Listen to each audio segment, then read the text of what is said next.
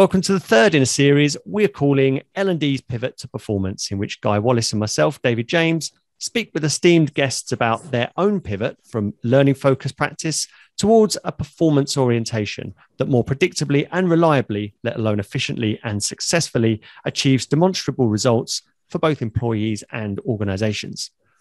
Over a total of seven sessions, each two weeks apart, we've invited guests that we know have made the pivot and have achieved real results from doing so We'll invite our guests to share their stories. We'll question them so uh, on their approaches and encourage them to share rely, um, uh, relatable experiences to inspire you to either initiate or enhance your own pivot. We'll also seek opportunities for you to get involved too. Now, at this stage, we'd like to get uh, add anything, Guy. Uh, no, thank you, David. That's uh, we're we're hoping to help everyone make this pivot to a performance orientation in learning and development, and to skip learning and development if it's not going to have the impact of performance that your customers, your clients need. Great, thanks, Guy. Uh, well, perhaps, Guy, we should start with uh, with our own introductions, including our own pivot from learning focus to performance focus. Would you like to kick us off, Guy? Sure, thanks. I uh, I was lucky in that I was initially oriented to performance my first day out of college. I was this was way back in 1979, and the people that I went to work with had uh, been working with uh, a brother of Geary Rummler, who became my uh, guru, my mentor. And I had a chance to work with him in my second job out of college at Motorola.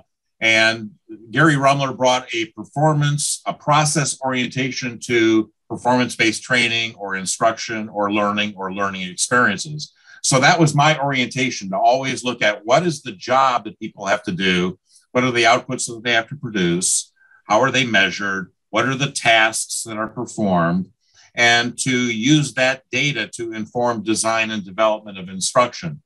Um, so I feel like I was one of the lucky ones. And throughout my career, I've witnessed the fact that most people in the business weren't given that kind of a performance orientation. So David and I are hoping that through this series, we can help others make that pivot or continue their pivot to a performance orientation. Wonderful guy. Well, I'd say that was in the other camp there. I spent at least a decade of being learning focused and uh, and really polishing my toolkit to be to deliver the best learning I possibly can, uh, both in person and uh, and online. And it wasn't until uh, it, I really was held accountable to actual change that I realised that, that perhaps what I was doing wasn't truly affecting performance in a in a predictable and reliable way. When I was expected at Disney uh, to make a, a, significant difference to um, to the organisation, when it was making its own pivot, both to digital in one respect, uh, and then uh, with the merging of different um, parts of the business. And so we were we lent heavily on mini accelerated apprenticeship with absolutely no training element uh, as a part of it uh, because we knew that we had to make a difference. And I suppose that's where my pivot actually started. So I sought where do we find the tools where we can actually help to scale this rather than just provide learning. Uh, and that's where you know this has this has led me down this path here, and of course to to meet you, Guy, and uh, and to meet you too, Anne Marie. Thank you very much for being a guest today, uh, Anne Marie Burbidge, who is uh, head of L and D at Utility Warehouse. Welcome very much. Uh, welcome to the conversation, Anne Marie. Thank you. Thanks for having me. Uh, perhaps um, we can continue with some uh, introductions, Anne Marie. And would you mind giving us a short introduction to you and your background in L and D, please? Yeah, sure. Um, it's interesting when you, Guy, when you were just saying um, kind of L and D on the route to performance and don't stop there. It's one of the conversations that we have quite a bit actually on that shift from training to performance. L and D is a stop on the way, but that's just it's um it's a point on the journey. It's not the end destination. So it kind of resonated, and I'm learning so much from these sessions as much as I am because I consider myself to be in the midst of the pivot as opposed to having nailed the pivot. Um, but yeah, so my back my um, background, I started out more generalist HR. So I studied business, studied with HR, went into a generalist HR role, did a bit of payroll, bit of recruitment, um, all great experience, you know, in that spirit of nothing wasted. Um, but they weren't for me. Um, went into this generalist role, and then I think, like a lot of people, went into HR thinking I really love working with people, but I found that I wasn't working with people in the way that I would have hoped. So then started exploring, went and did some work with a, a learning and development team that in the business that I was in at the time. and it started there and that was 15 years ago which mm. is frightening really but you know we talked about well, well obviously we'll talk about this a lot more but that's where i really started to kind of think well what what is this what what's training? What's it there for? What's what's its role? Because i still think there is a role for training. Mm. um, but it's just not not everything. So that's when i we'll come into that that's when i first started to kind of learn a bit more about uh, a performance approach. And uh, and to to linger on that just a, a little longer, uh, Anne Marie, uh, was there an aha moment for you? And um, from what was what was normal like before, and uh, and what did um, your uh, your your own personal pivot lead you towards? Mm-hmm. So I I would describe my the, my journey here as less of a pivot and more of a creep. Mm-hmm. I've kind of edged along and learned a lot along the way, and and taken uh, kind of taken insight from an awful lot of different places and a lot of different schools of thought. Um, I so I've always I did more like you. My background was more like yours in that I I, I did deliver quite a lot of training, but I've I've always taken much more of a facilitative kind of approach. I I went in reflecting on this. I never really like to stand at the front of a room of people. Mm and present myself as the expert on an anything. You know, my my expertise is around facilitation, building conversation, learning. You know, kind of creating that environment and that space where people can kind of exchange thoughts, uh, explore ideas, present challenges, come up with solutions, and that the value for me was always in the conversation. Of mm. course, I did have to do some kind of of the more teaching end of the spectrum, but I always when I think back on it, kind of always avoided being perceived as that person that was the expert on a subject and I was there to teach you about it. Mm. Um, but I think from a pivot, when I, you know, when I think back, there's one thing really does stand out to me, one conversation really does stand out to me where someone came to me and said, um, we need training. We're not, we, I was working at the time on a, on a consultancy piece of work and I was working with a call center and they came to me and said, um, we, we're not keeping our, our, our advisors are not keeping their promises. They're saying they'll call customers back, and they're not doing. So they need some training. And I was like, well, I smell a bit of a rat here. Um, or, or, I'm sure there's not so much smell a rat. I'm sure there's more to this. Um, kind of looked into it. I was like, well, you know, look, they, they know physically how to make an outbound call, right? They know how to dial a customer. And then we're like, well, yeah, yeah, okay. So so it's not that. It's not that they don't have the capability they need to do it, but then choosing not to. Why not? Or something else is getting in the way. And I think, you know, at the heart of my approach here is when we go direct to training, we're assuming that the person is the problem. They're not mm. skilled enough, they're not capable enough, they're not experienced enough. And actually, you know, my lived experience is that people can only perform to a level that the environment around them allows, or the processes yeah. or the systems. So when we go straight to training, we're assuming that nothing else is the problem. The person hasn't got what they need. So we're going to train them up. We're going to fix mm. it. Anyway, so um, after a bit of digging, you know, I was working with a colleague who was kind of helping me with this. And um, turns out things like um, people didn't have a way. So essentially, what was happening is when uh, advisors were talking to a customer, um, and something needed to happen before we could resolve their problem, we said we will we'll call you back at 4 p.m. on Wednesday. And then they didn't. So the customer would be sat there waiting for the call, and this person hadn't rung them. And so the assumption was we need to train people on how to keep our promises and make these calls. Turns out they had no way of reminding themselves. So they had to remember on at four o'clock on Wednesday, I've got to make this call back. They um, their bonus was based on inbound calls taken and outbound calls made were not counted. So people mm. potentially were financially penalised for not doing, not keeping the promise. Um, the um, what else? They were they were saying things like, "I'll call you at 4 p.m. on Wednesday," rather than I'll ring you on Wednesday between four and six. So, of course, if you're working in a call center, it's not always that easy to ring at an exact time because you might still be on a previous call. Um, so, that took a little bit of convincing. Obviously, the person who came to me asking for training had kind of outsourced the problem that they were experiencing to me. Um, yeah. This is not my issue that I need to own. We need training, and therefore now it's yours.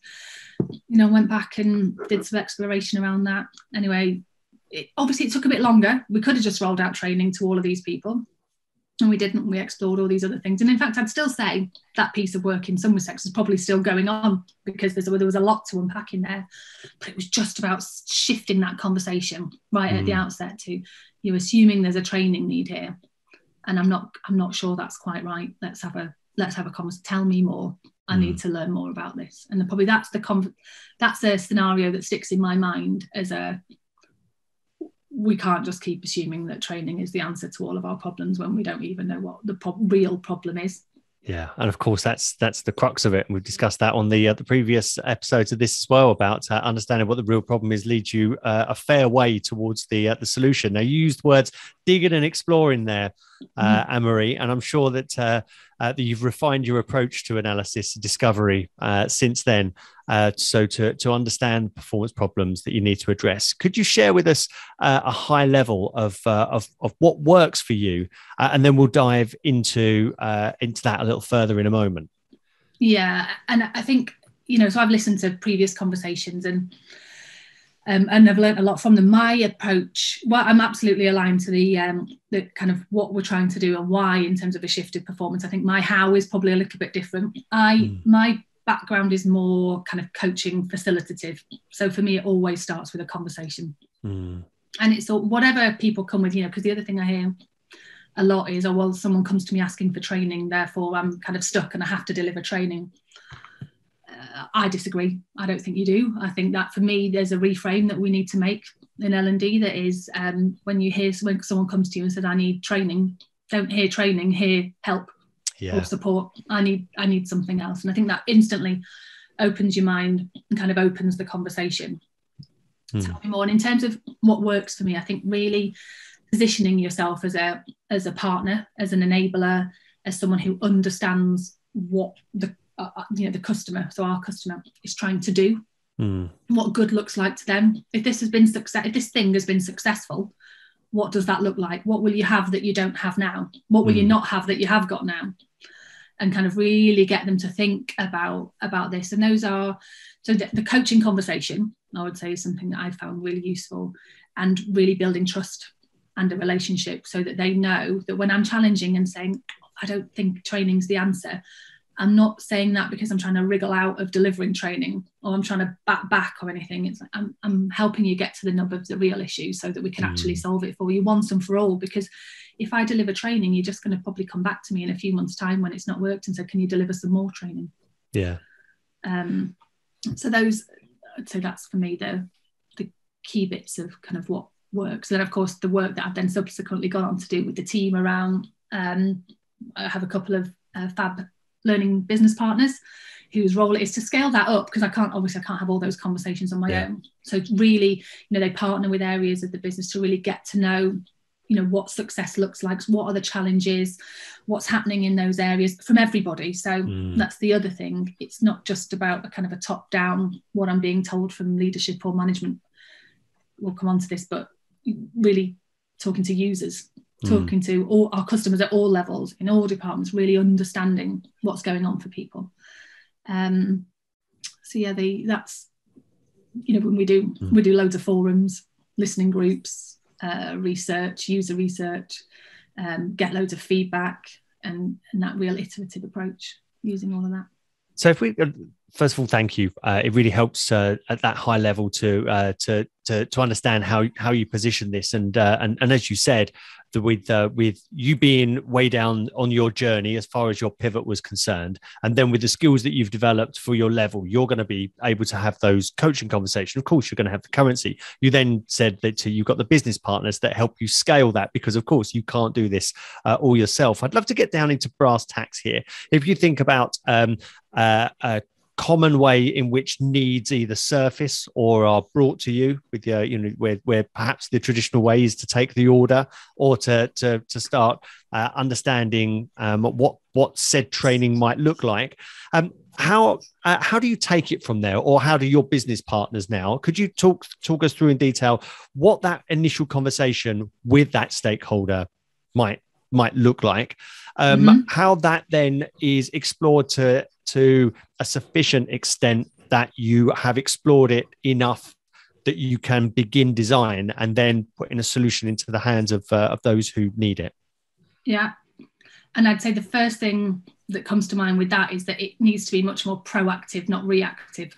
Mm. So so we so we spend a lot of time in kind of meetings and conversations like operational or strategic strategic sorry conversations where then we're not actually there talking about learning at mm. all we're just talking about them doing we're hearing what's going on and um, i was listening to a podcast yesterday actually one of brene brown's and um, a, a, guest on there was talking about opportunity goggles, and I love that phrase.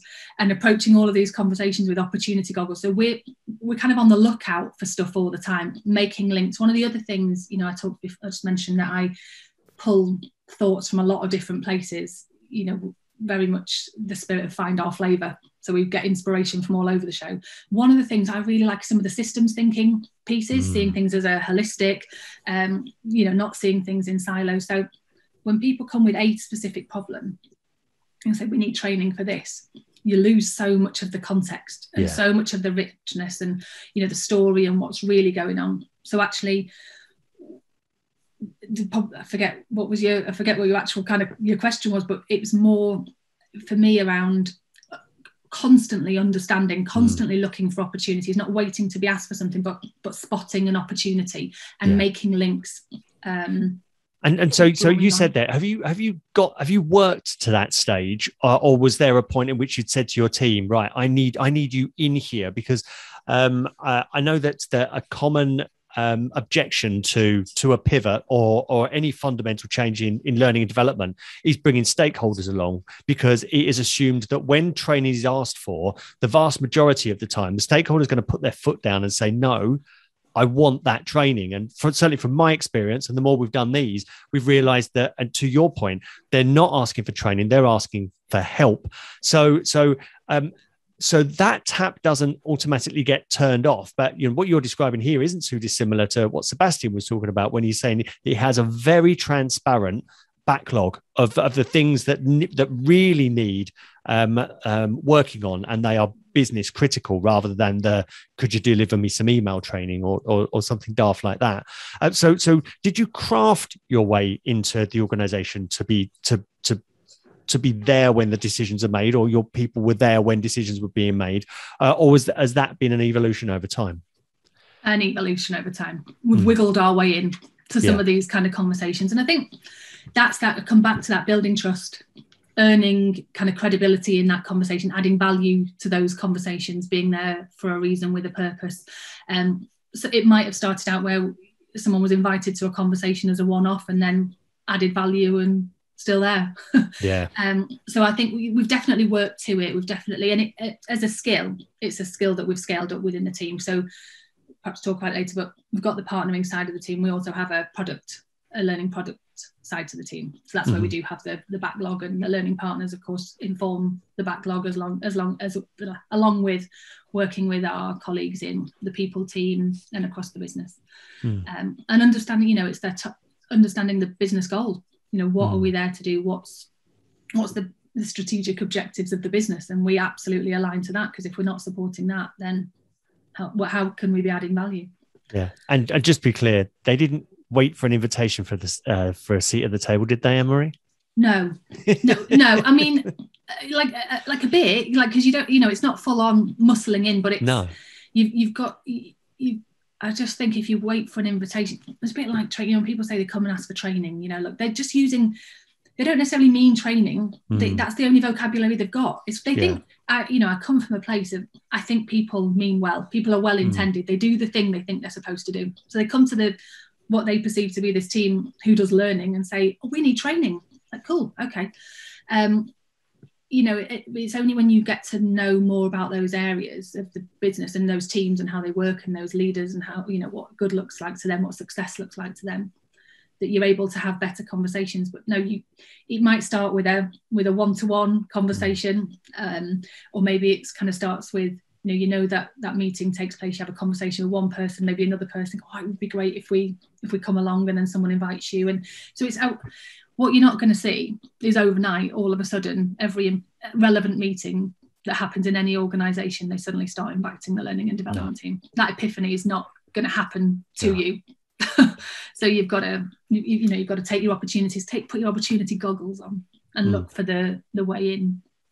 So, so in terms of so so if you've got your business partners, you've got your ear to the ground, and you and you're recognizing where you could add value. Um, could you talk us through your um, your analysis to determine um, what the actual problem is, so you can see where you can add value, and also your prioritization. Again, Sebastian mm-hmm. last week talked about uh, they had a very transparent um, um, system of requesting help from learning and development, and then yeah people could see um, just just where where their request fit into the overall um, uh, scheme of things. You talked there about a backlog, so you've got a prioritization uh, process. Yeah. yeah, we have, and I um I was quite inspired by that part of Sebastian's conversation because that, that's something that we're still working on for mm. sure. The the rigor and the robustness. We've you know we've kicked around the concept of a, a form, and we can you know for, I think you know back to the spirit of finding your flavor. I think for us in our business right now, a form doesn't feel like quite the right thing. Mm. We use the, the questions in the form to shape the conversations that we have. So we do it in a more, probably more human, conversational kind of way.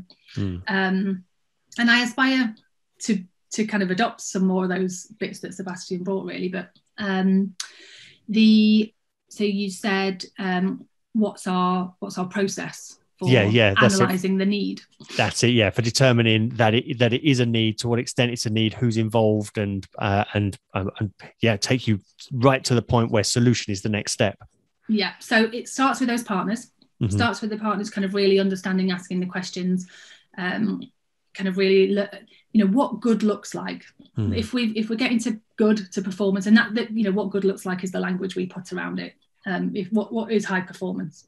Um, where are we now? You know kind of what's the gap between two? How can we kind of start to make our way through that? And then at that point you know so we have a, a weekly conversation with our learning product team and we all come together and go right so then that's when the, the people that work in product um, would would ask more questions. And then at that point there's kind of a handoff really. Mm. um, so th- there's more than one kind of uh, piece of work, if you like, that we can end up with in L&D. So some of it's the, the business partners just take it. The partners just kind of will have the conversations and and deal with it. Other bits, they, you know, maybe we spot some links between something that's going on in a few different teams or a few different business areas, so it becomes something a little bit bigger. Mm. Um, and then, you know, the question is um, one of impact versus effort. So mm. how much work needs to go into this? How how big is it? How much resource do we need? Is it just something that we can do or do we need to collaborate with other teams, other departments? Because of course you've then got to get time from them. You've got to get their buy-in. You've got to get their resource.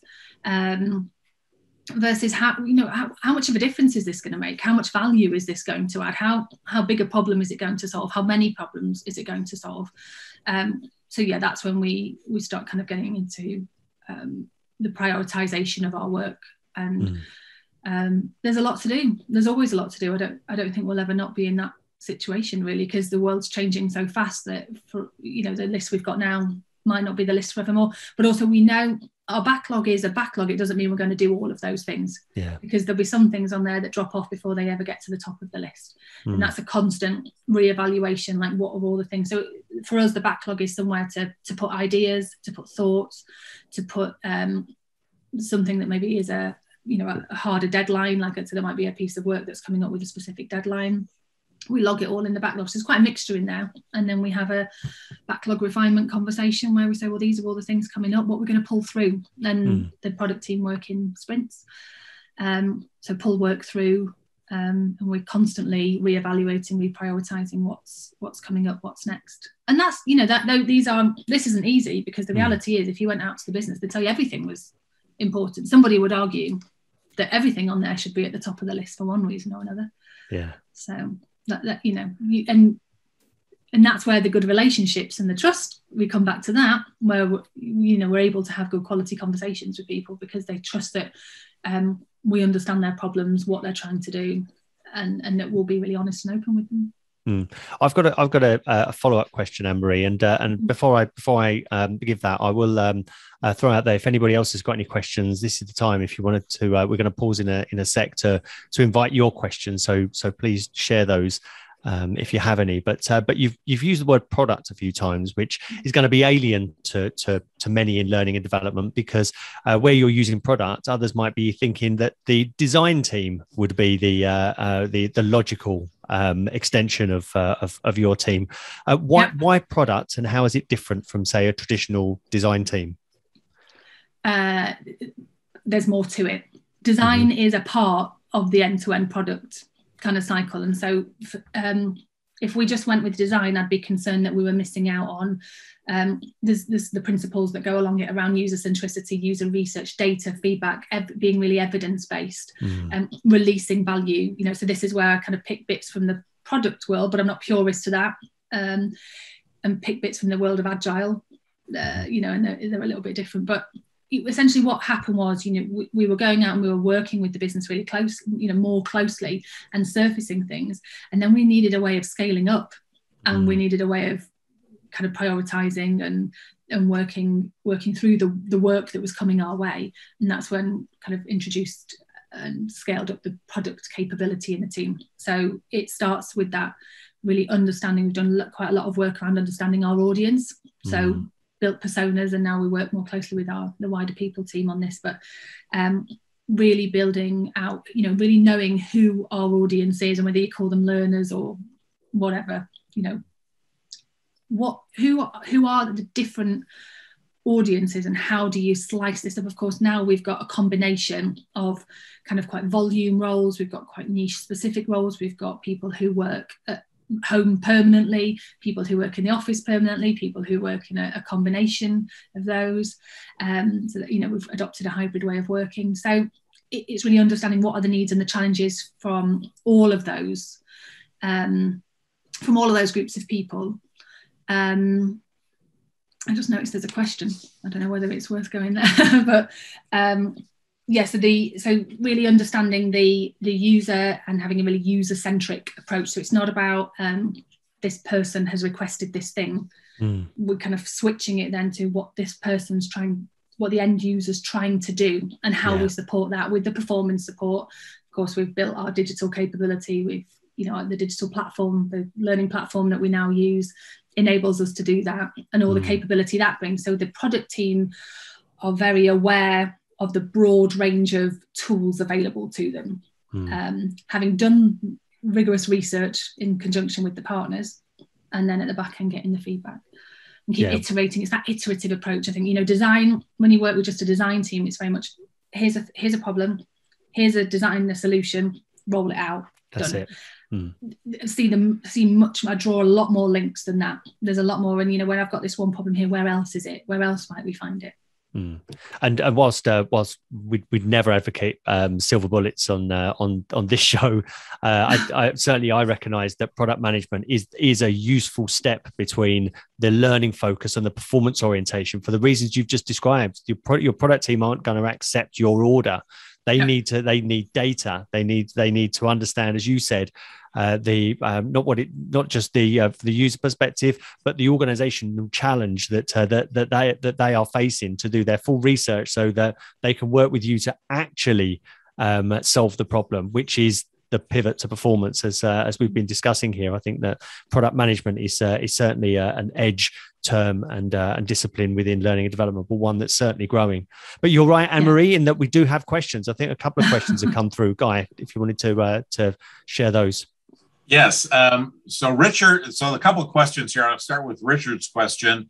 Interesting to hear that you describe yourself as mid pivot in what sense do you think you've still got a way to go? So what what where are you going to go next with this pivot? Mm-hmm. So um, we've definitely done this quite a bit. You know, we've kind of got a few examples. I think you know, I I never went out with the intention of um, I'm going to tell everybody what I can do, and when they all agree with what it is I can do, then I'm going to start doing it. We kind of went out went with much more of a let's just let's just have a go. Let's pick mm. some. Let's let's take our chance, our moment, take our opportunities, do it where we can. I think if you wait for all your stars to align and be able to do this consistently across everywhere, I don't know how long you're going to be waiting for, but I didn't want to wait that long.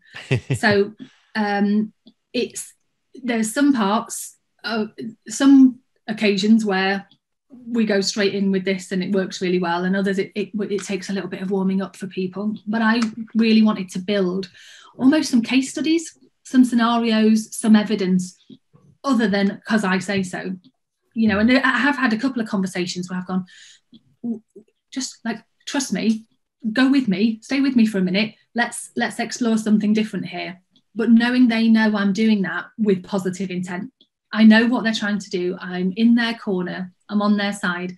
It's not a. It, it's how I can work with them and how the team partners and works with someone uh, or a, a team, kind of to to help them achieve success or high performance or whatever that is. So I have had to kind of. I'd, I'd say mid pivot because I don't think we're smashing all of this consistently yet. The other thing I would love us to be able to do more is um, kind of more on proving the impact, prove, you know, being a bit more consistent with that. Because some we find that easier in some situations than others. So I think mm. that's the other thing, you know, for me. And then that bit that is a little bit more rigor around uh, what I liked about the um, something that Sebastian said was being able to present the leadership with here's all of the challenges that are mm. going on in the business right now. Let's let's prioritize that together. I I, I was quite um, intrigued by that. So yeah, that's i hope that answers the question thank you so uh, uh, some more questions are your uh, l&d business partners i guess the guys with the opportunity goggles on uh, got on are are they centralized? Uh, are they working at cross function with the business?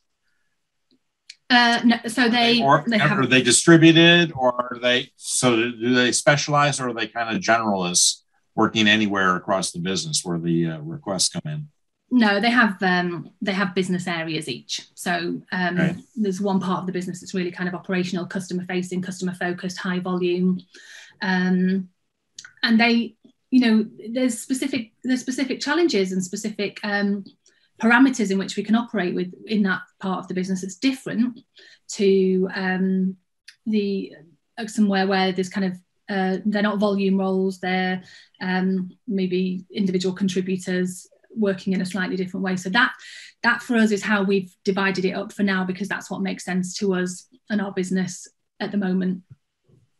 Did they experience any walls, uh, silos, and it was hard to break through and get into? And so, how did they, you know, uh, deal with any of that? How did they get themselves get themselves into these parts of the business? Yeah. Yes. Yeah. We we experience walls. Um, yes, we experience silos. I think you know it, this is this is a long journey. This mm. takes time. You know, I, I I'm still learning all the time. Um, you've got your early adopters, right? And I just think like don't try and boil the ocean. Pick a bit, pick an in, pick a one. Go to the people who are game, open, happy to um, explore and experiment with you. It might be that you've got a, a really good relationship. Um, somewhere already, start there. Um, and then start to kind of prove the concept and build it up and scale it up. Because I think um, it, it, can be quite overwhelming actually to sort of say, we're going to do all of this everywhere, all at the same time. Mm. And you will have different levels of success in different different different pockets um, and yeah you know that's one of the things that we do when we come when we come together so yeah there are of course differences but there are similarities you know things like the, your leadership population experiences um, different but also similar challenges across any organization. Um, there's some things consistent and some things that are unique. Um, you know, things like onboarding is something that um, you know. So some of them, some of our projects, if you like, are consistent. Their whole business, their whole thing, and then where we need to, we can bespoke. But there are other things that are, are quite specific to a certain business area. Um, and we, you know, I'm a massive fan of a, a kind of a pilot, a test and experiment and scale up. And certain ideas are more suited to certain areas, but I would just my suggestion there would always be start with your, your there will be an early adopter, there'll be a, a, keen bean somewhere. Find them, build the relationship with them, and start there. And they become your champion. You know, they become an ally and they become a voice. Um, you know, my outlook on le- sort of learning and development is quite a decentralized model. I, I would not like for L&D to be a gatekeeper of anything. We don't, you know, your learning and development team don't own the learning or the knowledge in a business. Um, so, you know, kind of you, I think it's I think good L and D is quite stealth-like in many respects, mm. but it's also you, you're well networked because you're kind of drawing links. So that's another goal, like build your internal network. Mm. So another question that we have here, uh, and it it kind of segues into a question that I had, um, because my question would have been, what other interventions or solution types is your organization are you dealing with, and are you doing this in partnership with, you know, IT or the sales organization or other other functions within the company? Um, yeah. So we um, right. So what's the what are the intervention types? So everything, anything, totally open minded. Um, I got asked the other day, um, what do I think about VR in in L and D? So, well, I love it if it's the right solution to your problem. Mm. Like like anything, I, like I don't. I'm what's the phrase? I'm solution agnostic. I don't I don't mind what the the solution is, but as long as it works. So as long as it works, is scalable to the point at which we need it to be. And we, the only way we're going to know that is if we've delved into the problem mm. and really kind of understood what the problem is. Um, and you know, so our solutions are. I mean, it could be anything from we do do work kind of workshops, facilitated conversations, community building um, kind of opportunities, um, video uh, we've got podcasts. We we do have a, a tool where we build e-learning, where that's the relevant thing. If it's quite instructional, we um, it could be a simple kind of bit of text, could be a written resource. Screencasts are something that we've done um, uh, quite a bit of recently, just to help bring video to life. Um, talking to people, kind of even pieces to smartphone camera got a bit more of that going on at the moment. See, that took a little while because people are like, oh God, I can't do that. Mm. I can't talk into a camera and then you're going to pop it on the system and everybody look at it. Um, sure you can because it's the whole it's like let's informalize this let's if you were in a, a meeting or in a conversation and someone asked you how to do it because you know i think when someone's struggling to do something they'd love to just ask the person sat next to them like can you just show me how to do this well that's quite tricky at the moment and also it's not scalable but something you can do is record a really short one two minute smartphone video that we can share with people and it just makes it feel a bit more friendly mm. and just sharing sharing a bit of knowledge um, or a bit of experience so yeah there's a quite a broad range of so and and I would say for me the opportunities are endless I mean of course there's always a cost implication but if I, uh, we we're really in our kind of product conversations and the wide the wider conversations when people come up with ideas yeah let's give it a go. Let's have a look. Test it. What's the worst that can happen? Let's find a way of testing it that's not massively risky. Have a go and then see where we you know see where that takes us. Hmm. and we have another question here. This is directed at all of us the three panelists here. Mm-hmm. do you measure performance and therefore your impact on that performance what was that? How? Yeah. How do you measure performance? Who's going first? oh, you you are our guest, so. Oh, am I? All right. Okay. Unless you want to defer it to one of us. Yeah. Um. So, uh, I wish I wish there was one simple formula to this. I wish I could say here's the answer, uh, the silver bullet, and there's but there's not. But I um I again, what's the problem?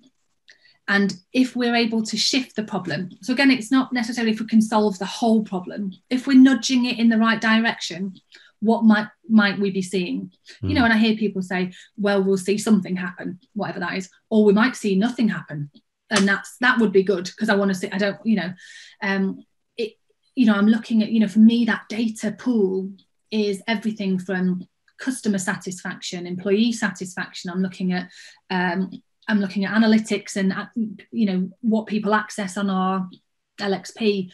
Um, I'm looking at things like speed to capability.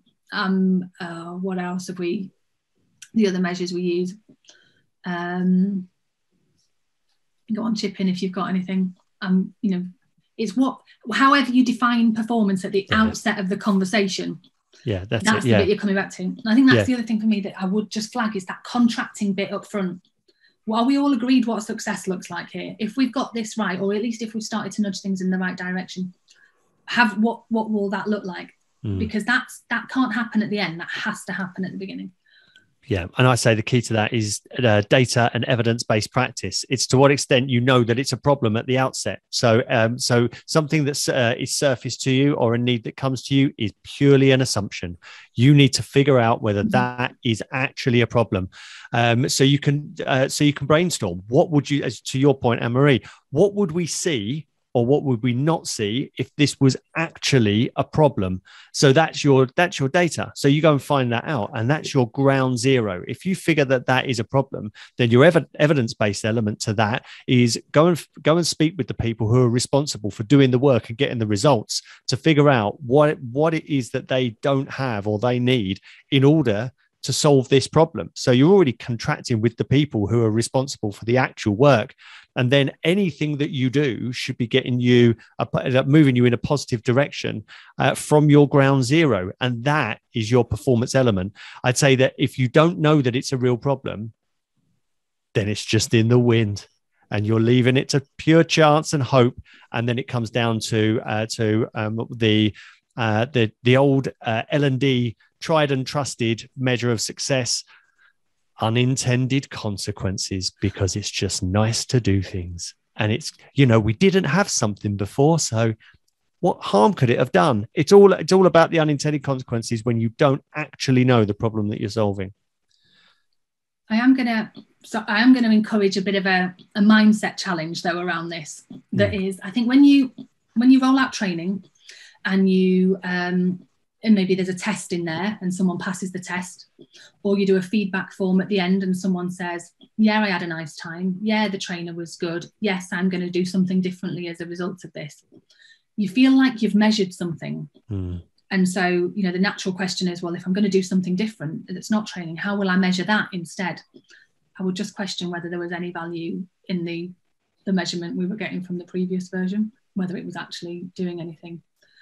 Um, yeah, that would be. So I would just encourage a, a kind of think, you know, why why are we asking that question? What are we trying to get at? I know, yeah. is it about trying to prove value? Is it about trying to prove impact? Is it about trying to achieve performance? You know, why why are we why are we trying to get at that measurement? Mm. And of course, Guy, you have more experience than uh, Anne Marie yeah. and myself. Would you what would you add? Well, I, I, guess I was influenced by Geary Rummler, who I talked about a little bit earlier, and uh, but also the total quality management movement that really aligned with my process orientation. So, my definition of performance competence, which is what I would try to be measuring, is people's ability to perform tasks to produce outputs to stakeholder requirements. And that means you need to understand the workflow and what is produced by the workflow and output, which becomes an input downstream someplace else. And then the various stakeholders. So, who are the stakeholders for that output? Is it regulatory bodies? Is it managements? Of course, it's the downstream customer, but then there's the tasks that are performed, the behavioral and cognitive tasks that have to be performed to produce an output. Um, and, and so you need to be able to look at what, what are who are the stakeholders for that and what are their requirements.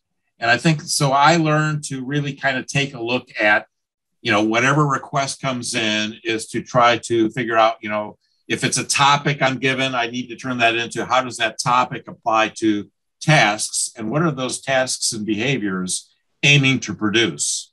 Because people aren't on the payroll just to perform tasks or employ behaviors. They're there producing things of value that are then an input elsewhere to the final customer or to internal, the next step in the processes, et cetera.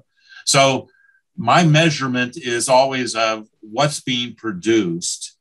And that's the first thing i would measure. And what's you know what are the you know how can you tell good from bad? What are what are the earmarks of good? Is it quality quantity cost time uh, an aspect of time uh, schedule etc um, but but anyway so that kind of answers uh, laura's question. Thank you laura for that question. David back to you Wonderful, um, Anne-Marie. If we again uh, take this uh, this practical, practical. Um, um, could you give us a real life example of how um, a problem was presented, or you you uh, you recognise the need, uh, the analysis, the discovery you uh, you undertook uh, to understand and diagnose, and then what you actually did to address it? Yeah, so I got quite a recent one. Um, implemented a new system, um, and I, you know I was approached and and by one of the project team, we need to roll out some training on mm-hmm. this new system. Um, can we talk? Sure, we can. And I think that's like for me, I come back to it. I, I heard, of course, can we have training? But I didn't think to myself, the answer's obviously then got to be training. Otherwise, I've got to tap out of this conversation now. Mm-hmm. So, right, sure, talk to me. I went in and we've got all these users and this is what they have to do. And I think, you know, particularly when it comes to system stuff, most systems now, if you've made a decent choice in the one that you're using, it's quite intuitive. Mm. So I think gone are the days of needing to sit there with hundreds of people in a room teaching them how to click a button. Um, and if you think, you know, we don't do that, do you know, like any other system, any app you get on your phone, no one teaches you how to do it. There's no training that comes with Facebook when you sign up to that app. You, you know, you poke about and you find your way. Mm. Um, but of course, there was there was definitely a actually the bigger piece around this was change, changing in the process, changing and understanding what's expected of people. Um, so so that opened up the conversation had the conversation with the product team the, the, project team that were implementing this new system. You know what if this is successful what will you have in three months six months 12 months? If you're it's not about the the input that is any training. Like tell me what success looks like to you in your terms. What are you what are you trying to achieve? What are you trying to do and kind of loads of conversations around that and um, you know what's your expectation of people Mm. Um, so kind of lo- lots of conversation on like capturing all of that. And then um, essentially the decision what or my recommendation. And then that, this was one where I kind of had to say, look, I hear you. I hear you that you're looking for training, but here's my worry about training. Um, because it's a system thing, what are people going to refer back to? So if you're in that room and you're learning how to do something in a really controlled environment, that's great. But then when you go back and do it in real life and, and the thing you're trying to do doesn't look quite like it did on the screen in the training, or where do you go? Who does that person then go to? You're mm. probably still going to generate um, questions and thoughts. What about if new people start? Like how how will you catch them going forward? Um, you know, what about if there's changes in the system? Are you going to you essentially when you start with training, potentially you're committing yourself to com- retraining constantly. And there's a cost associated with that because of course there's a you know on this occasion it was a, a consultant but it need not be but there's still a cost. So um, what we've what we did was we kind of we took apart the, the, process and said what are the what are the, the parts of the process? What are the actions that people need to do? What do people need to be able to do? And we've built available kind of 24 7 in the flow of work what i'd call performance support they mm-hmm. are screencasts with a how-to, but there's a little scene set before. So there's there's a, a bit at the beginning of the story that says this is this is why we've done this. This is what we're looking to do. This is the process that, and this is your role within it. Here's the individual actions with then kind of top tips because the actual action in the system is one thing, but the how to get it right, what the watch outs are, that's mm. something else. So that's in there. Um, so that just sits there now. It's available in our LXP. But what we're also doing is we're, we're just kind of doing a little bit more with this is looking at how we can push that to people at the point of need. Yeah. So, for example, when you when you go into the, this system and you're trying to do, you know, there's an approval process that goes alongside the system. When someone gets that, you need to approve something email. Here's also a link to the resource to help you do that well. Mm. Um, and yes, the in terms of analytics so far, there's been quite a bit of take up for that. It, and most people most users have just kind of got on in and and and it's worked. We have had more questions, so we are now kind of iterating all of that. Um, so we are developing a couple of those screencasts, adding bits to the resources. We've built an FAQ document that, as we're learning, this is you know other stuff that so that we're just sharing the, the same people or different people aren't asking the same question over and over again. They've got a, a somewhere to go. Um, we, we we're making some tweaks. We're also then there were a couple more complex scenarios that have surfaced. So we've put on some uh, like drop-ins where you can still come along and ask, but bring a specific scenario. So rather than going and sitting in training and either touching a little bit that doesn't really capture everything or going exhaustive list and training on absolutely everything that most people will never actually need. Here's the basic, get out, get out the traps, do what you need to do. If you've got any questions, here's the other support that's in place with the drop-ins and the it's a Slack channel, you know, mm. for asking questions on there, and that's that's where we've got to. So now we're just kind of measuring the impact of that, and it's again, you know, there's no, there is no um, 101 out of 102 people have completed this resource and therefore it's been a success Mm. done it's it doesn't stop you know we've people have accessed it. Most people have then been able to do what they want to do. But then there's more advanced users that we've then needed to put something a little bit more. But if we'd have just gone straight in with those clinics or the drop-in sessions everyone probably would have just gone to those and expected the training. Yeah. so that's um that's something that we've we've done quite recently that's worked well. And actually it's interesting that the one of the project teams you know we're so grateful that you encouraged us to do it this way because we've learned so much from the process of our users using these that we've then gone on and we've been able to iterate. So we're you know we're, we're not very far into it but we've already got something out there. And it was very quick. We didn't have we you know we were able to turn around this around really really quickly. We didn't have to design a, a huge training program. Got it out really quickly. Um, most people have got on okay. Some haven't. We've then iterated and added to it and keep going. And we're just we're learning as we go. And you've saved um, uh, everybody in the future from having to uh, attend dreadful refresher training, uh, which I think I'm not sure anybody ever thanks L&D for putting on refresher training. no no sadly um, but yeah, and but the team, you know, we've all learned, we've all learned loads. So we, you know, there's a retro, a retro around that. So right, so what worked, what didn't work, Mm, because the, whilst it's a learning, it's learning in the business, it's learning for the team as well. Yeah. What did we do? What uh, what else could we have done? Now, what do we know now that we didn't know then that we and that we might have done? Because that then informs our investigative problem digging conversation next time because Mm. we've learned from you know things that we've bumped into this time. Well, in the essence of uh, of learning, Anne Marie, um, a final question uh, from me: um, What suggestions would you give to others uh, who are listening who want to adopt or have their own pivot to performance? Mhm. Start small would be my um, start somewhere. Someone's got to go first. So Mm. it's it's unlikely that someone's going to come to you and and either say pull up pull up a chair at my table or um, can can you build me some performance support? Here's my performance problem and here that i've got. That that's not likely to happen. So Mm. find find your in somewhere a person a process um, an opportunity that you spot um, something that you hear you know it might be that there's something that comes up time and time and time again and you kind of go oh my god like, i keep getting asked about this. Or it might be a piece of training or something delivery that you've you're on a bit of a uh, kind of a i don't know what like you've done it before and Yeah. again and again and we're still refreshing people or it's something that you you know in your heart of heart that training hasn't solved the first time so don't go back and do it again Mm. look for the opportunity to to kind of just kind of lean into that and you know, stick your opportunity goggles on it and you know what what one thing can i try what one place it might be a particular bit of training that you've got now or, or something that you've got now just try doing one thing different and and see how that goes and and kind of iterate and learn from that um, you won't be able to do everything all at once Mm. so you know just give yourself a break Yeah, brilliant. Uh, and Guy, any uh, any quick questions that uh, that we can uh, that we can share before we uh, wrap up? Yeah, I so are there any references or uh, resources, people, podcasts, books, articles that have had a meaningful impact in your approach to all of this that you might share with other folks?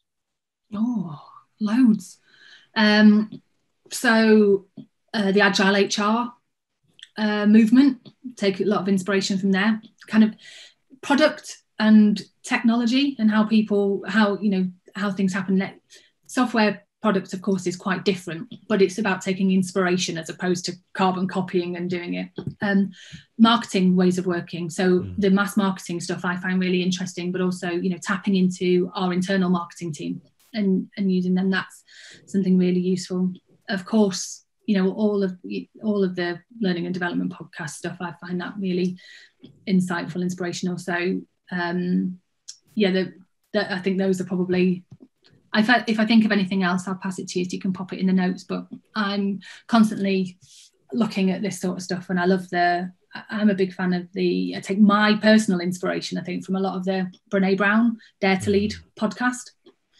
Uh, you know, around just it's okay to be a bit vulnerable, curious learning mindset, go in, have a go, be human with people and i think people buy into that and they, they you know it, it's they, they trust you uh, mm. because they, they, they know that you're you, you know positive intent brilliant that's wonderful. Thank you so much, uh, Anne Marie. This has been uh, hugely insightful, and uh, I'm sure that it's been uh, it's been very useful for for those who have been able to join us today, uh, but also for those who will be able to watch the uh, the recordings and listen to it when it is on the on the podcast. So so thank you very much again for for taking the time, and thank you everybody for attending here. If I could just have just a, a a small moment of your time to let you know uh, of what we have coming up. So, um, as you are aware, uh, we have these sessions uh, every two weeks. Uh, and so, two weeks today, we are joined uh, by Dawn Snyder. Uh, on November the 3rd uh, for our very next installment. And you can see the others from there. And you'll also receive a, uh, a link to sign up to that too. So please uh, put that in your diary. we'll follow up in the next day or so. Um, but all left to say is uh, is thank you very much uh, again, um, and we hope that we'll see you again very soon. Thank you.